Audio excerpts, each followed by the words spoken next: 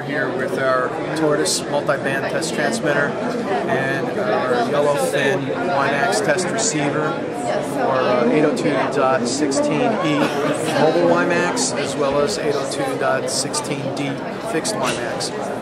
The Tortoise multi-band test transmitter uh, allows one to go out into the field where there are no WiMAX signals and put up a uh, mobile WiMAX modulated signal either in a 2.5 to 2.7 gigahertz band or the 3.4 to 3.7 gigahertz band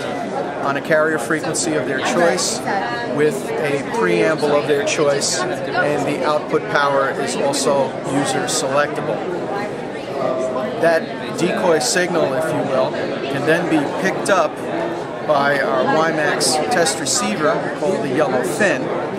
It's simply a matter of tuning the Yellowfin test receiver to the same frequency as the test transmitter to pick up the beacon signal. Then the objective is to drive the area and collect the data on the signal strength, the uh, signal to noise ratio, etc along with the GPS information. This instrument also has a 12-channel GPS receiver built into it, which allows for the geocoding of the signal strength data.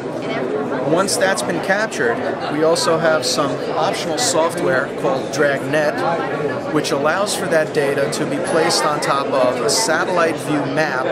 of the area that was driven,